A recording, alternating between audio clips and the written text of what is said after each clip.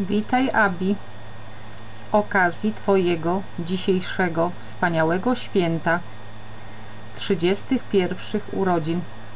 Chcieliśmy Ci złożyć najserdeczniejsze życzenia.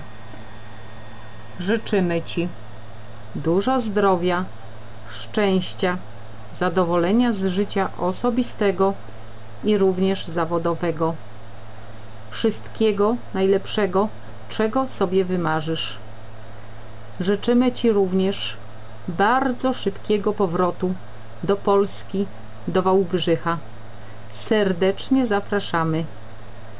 Pozdrawiamy Zosia i tata Marek.